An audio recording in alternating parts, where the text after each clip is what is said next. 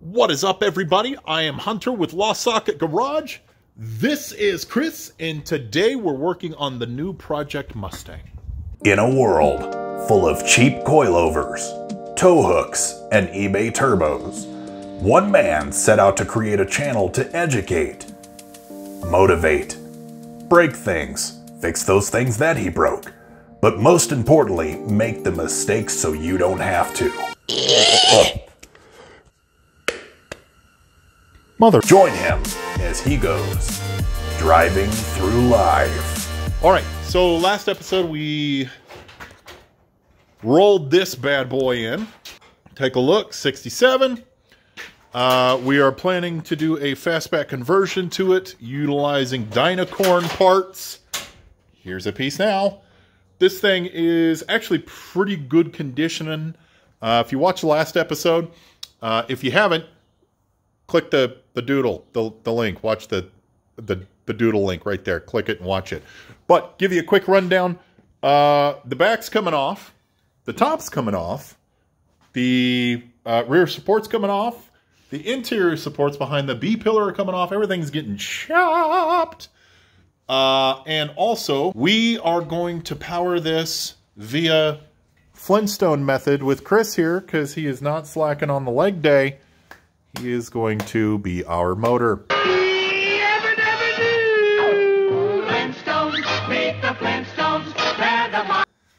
Just kidding. Now this is the old floor pan. Check this out. This thing is haggard. Uh, so if you're doing, if you're following along at home and doing this swap, and you need to swap out your floor pan, make sure that you cut out this little bit. There is a square. Cut this little square out. cut this little square out. cut, son of a bitch. Cut this little square out. It has the uh, little plate on back, and that's for the seatbelt. We're just going to pop that out and weld it, in, weld it into the new floor. Um, just to show you around here, you see all that rust? That is a tenth of the rust. This thing was so rusty. It's incredible. But uh, cut that out. The pan for it, uh, I showed you a little bit earlier. It's a Dynacorn replacement. When you're doing a floor pan in a car, uh, oh yeah, work it. Uh, when you're doing a floor pan in a car, make sure that, do that again with a little headband. Uh, when you're doing a floor pan in a car, make sure that uh, you actually set the replacement floor pan, pan in and then trace out, if we have anything left that's traced, uh, you're going to trace out with like a marker or something uh, where the new pan goes so that you don't cut out too much metal um, and you actually have something to weld to. So we left about an inch, half inch or something like that uh, from where the actual replacement is going to go. Now you'll also notice that there is a cage kind of welded into the car. Now some of you may be saying, Hunter, that's not the direct right direction for a roll cage. It's not a roll cage, kids. Uh, Mustangs are a unibody, uh, so no frame. Basically, what we're going to do is we're going to be jacking this car up, uh, making sure that it is all level, and we're chopping so much metal out of it that it's not going to have a lot of support, and we don't want the rest of the body to uh, shift or twist or anything like that. So since she's not even off the ground yet, what we did is went ahead and welded in a cross brace. Like so we started off with a little T and then we put braces down to just inside of the wheel wells. Uh, and probably a little bit overkill, but honestly, we don't want this thing shifting whatsoever. Um, we did the exact same thing and that car worked out really, really well. Um, so make sure that you brace this. So next step is once we have completely cleaned out the floor pan. We want to weld in the floor pan first so that the car has a little bit more uh, strength when we actually put it on jack stands. Um, so we're going to finish cleaning this up and weld the new pan in. Are you excited? Yeah, I'm real excited. Uh, real excited? Now the fun part begins. The fun part begins. Let's get to the fun part. Hey, you, watching the video.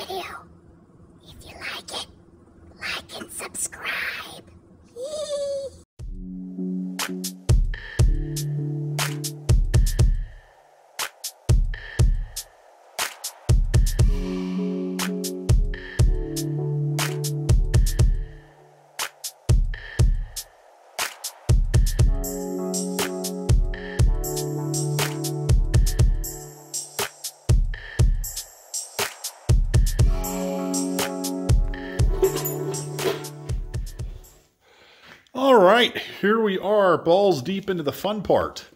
Um, you'll notice a couple of things are missing, like the back of the car. Well, we did not need to save the roof, so we just cut it in half and then cut it off. Right, imagine imagine there was something right in that area that that, that was at the end of the roof. We would have cut that off. Um, then we cut off the fenders, obviously, uh, whole back half of the car. Uh, we cut off the corners here because we are actually going to reuse the uh, tail light um, housing, tail light Panel. panel. Thank you. I need to drink more coffee. So uh, we got all of these body panels off in a couple of different ways. We got the some of it we just cut off, like so. For example, the wheel wells we cut off, and then we had to come in here, and I'll show you.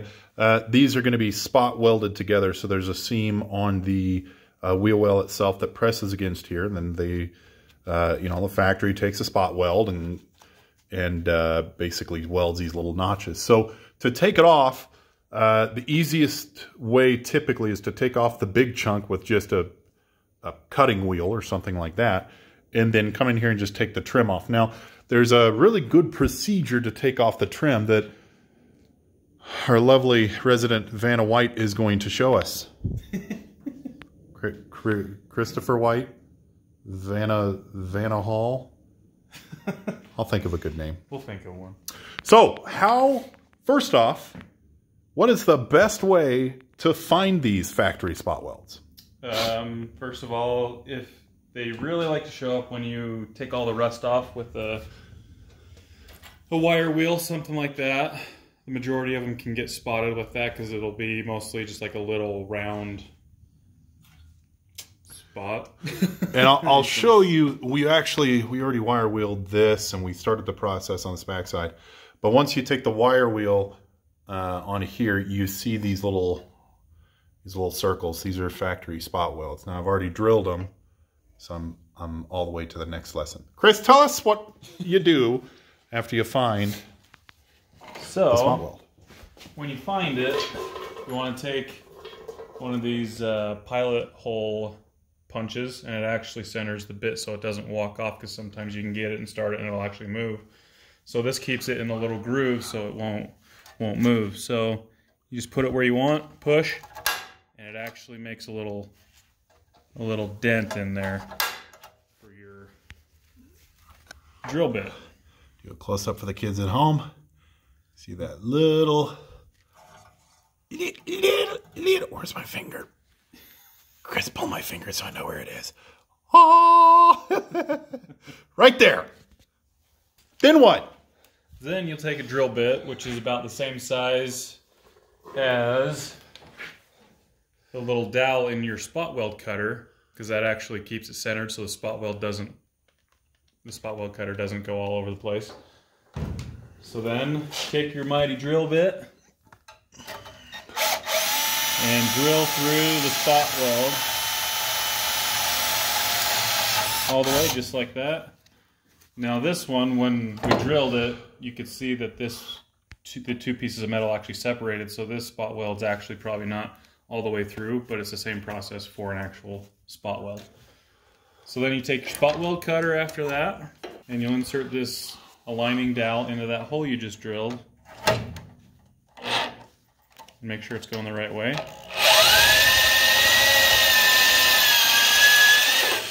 And the only thing that you're looking forward to looking for is to go through this first piece of metal. You don't want to go all the way through because then you just have a big hole.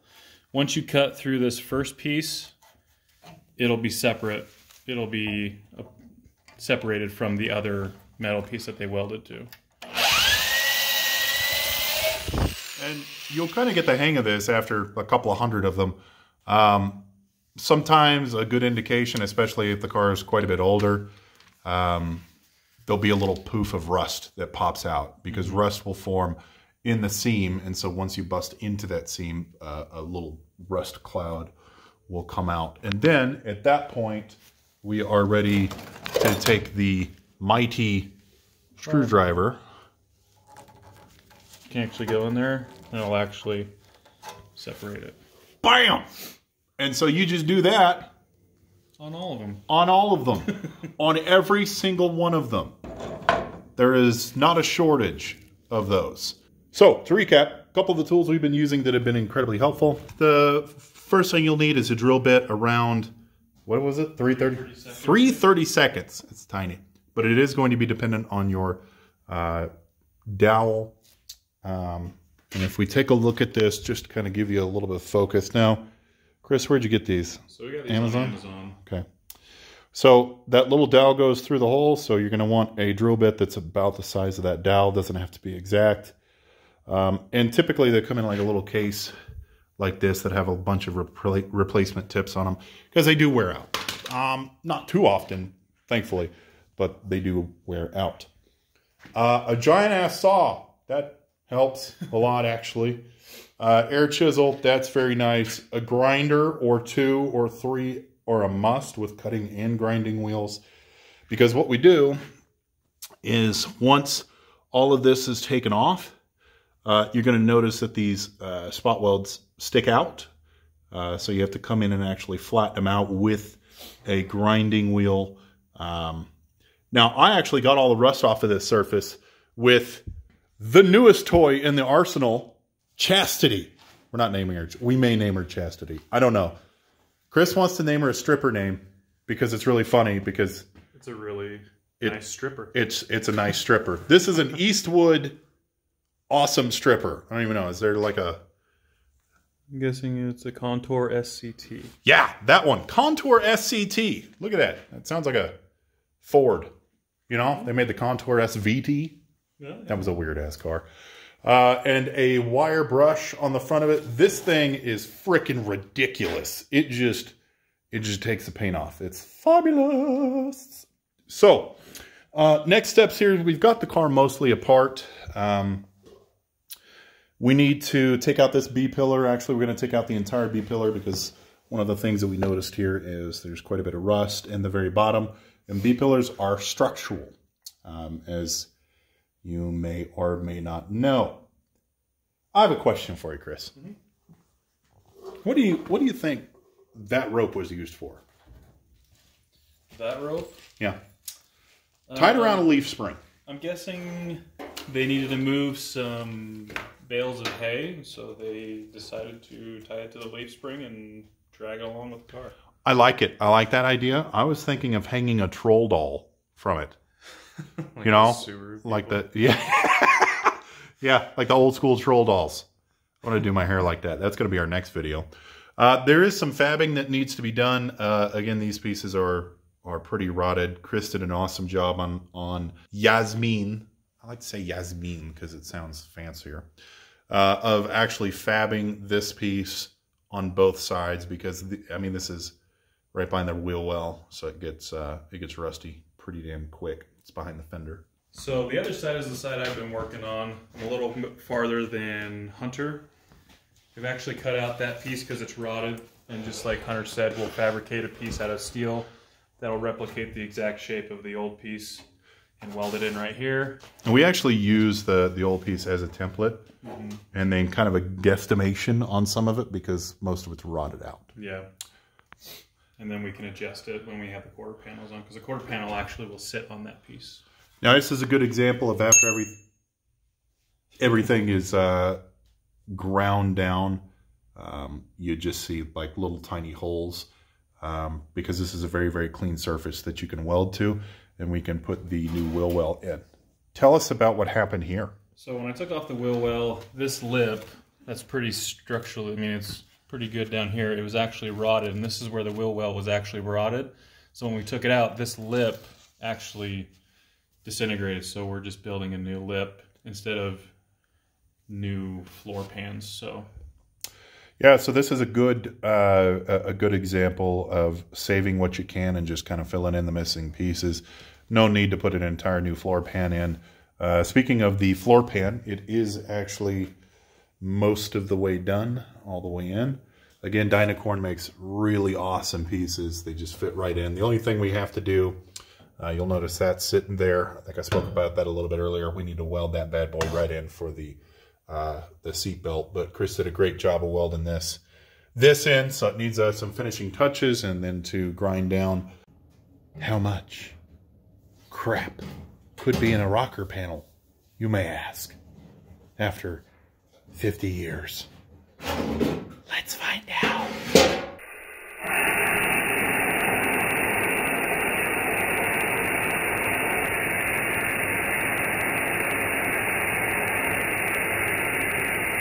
Yesterday, nothing was on this. Uh, roof was off. Um, I think there was one B pillar left, but we were able to get the B pillar off today uh, and get it to where we could actually mock a few of these things up. Uh, put on the fender. None of this is welded yet. This is just kind of bolted and screwed down just to make sure everything fits correctly. Which again, this entire kit is from Dynacorn. And the thing, man, they just make such good stuff. This is not sponsored by any means, but if someone from Dynacorn is listening, we could we could totally use the sponsorship. Yeah. Hi Dynacorn, how are you? Just want to say hi. Just repping your products. Uh, so, what is welded are the wheel wells. And yeah, that's, that's about it. Uh, B pillars, brand new on this car. Uh, roof skin, brand new. Obviously, these are. This is the structure for um, the actual fastback, and then we have the trunk separator and filler panel. Uh, inside, there's a little patch on the corner there that uh, we still need to do, but otherwise, it's got uh, that panel is actually already done, which is cool. Uh, this panel is brand new as of a couple of days ago. So this is really, really coming together. Let's get an engine shot here. Hi. Hi, 351. How are you? Just waiting to get fired up. Doesn't have a harness right now, though. We're actually, we're to do new fuses. Or uh, new wiring harness with uh, new style fuses versus the old glass ones. Updated a little bit so that whoever ends up with this beautiful pony has uh, the ability to do pretty much whatever they want if they want to go fu- fuel injection with it or all modern stuff. Uh, so we have to redo this, but other than that, and things are really coming along. We're really cruising along on this bad boy. Brand new B pillars. Now, a couple of things on this Mustang. It is a 67. Uh, we do have the title for it. As of right now, this Mustang is available. Um, we're obviously, it's too late to go back to a coupe. So if you're looking for a 67 Mustang coupe, this is not the right vehicle for you. But if you've always wanted a fastback, which I'm not a huge Ford guy, I'm not going to lie. You guys who know me know me, know that I'm Chevy and Mopar. But, uh, you know, the fastback is just, it's incredibly iconic. So if you ever wanted a fastback Mustang, uh, PM us, you know, let us know. Maybe we can put something together for you. This Mustang is for sale. Now, one of the benefits is if one of you out there is interested in a fastback, let us know now because we're just going to do whatever the hell we want to this damn thing and sell it as is at the end. But if someone contacts us now about the Mustang, you have carte blanche. See that? I'm getting French in this bitch. Carte blanche. uh, you could do anything you wanted. We could throw a 427 in it, four link suspension, new trans, new gauges, updated gauges, go for the classic look. You could do basically whatever you wanted to, and you can customize it essentially from the ground up. So that's a good option. If you're interested in this Mustang, definitely let us know. Otherwise, man, just keep tuning in and watch the build. It's a fun process to do. It's uh, probably fun to watch, to be honest with you. You don't get the metal shavings in your face all the damn time. I picked a nickel worth of metal out of my nose last night. That was awesome. So that's about it for this episode. Next episode is going to be real, real fun. So to follow along, hit subscribe, and we're going to start doing YouTube lives when I figure out the modern technology of it. Uh, but you have to hit the notifications. So when you see a, just you know, hit the little bell, little bell notification after you subscribe. You know, little bell, ring a ding, ding, ding, Ding, ding. ding, ding, ding. That kind of actually almost worked. If you want some merchandise, right now we're giving away $500 Every $5 you spend on the website gets you one entry.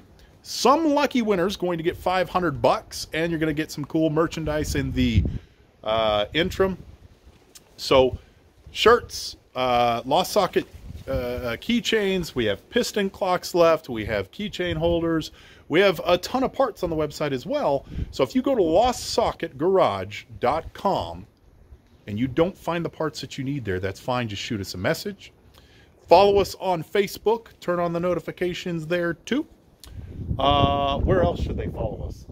The Instagrammers. The Instagrammers can follow us at Lost Socket Garage. I did say Facebook. Facebook.